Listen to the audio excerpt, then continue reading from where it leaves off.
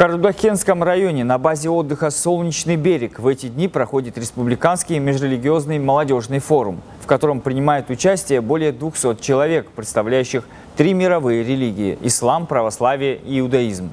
Сегодня в оздоровительном центре «Олимпийский день», расскажет Гамзат Нурмагомедов.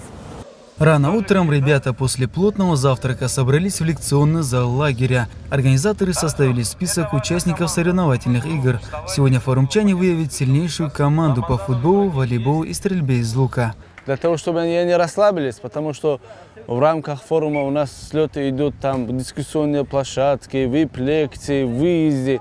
А спортивный день, волейбол, футбол, стрельба из лука, это больше объединит их. При формировании списков организаторы распределили участников так, чтобы в каждой команде оказались представители ислама, иудаизма и православия. В этом составе они сплоченно будут соревноваться в спортивных играх за звание чемпионов.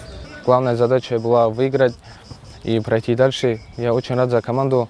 Это, я думаю, наверное, дополнительная мотивация к следующей игре.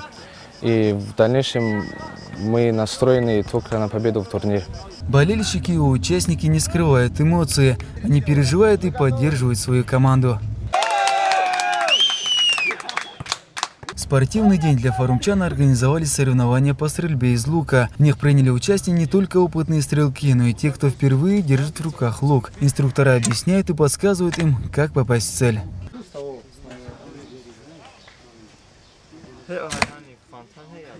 Форум проходит на высшем уровне.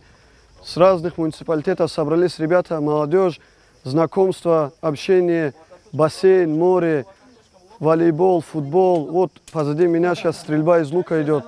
Вот. Э, это дает нам э, силу объединиться, познакомиться с, э, со всеми, кто находится на форуме. Четвертый Олимпийский день на форуме завершится чемпионатом по футболу и встречей с именитыми дагестанскими спортсменами, которые наградят победителей турниров кубками и медалями.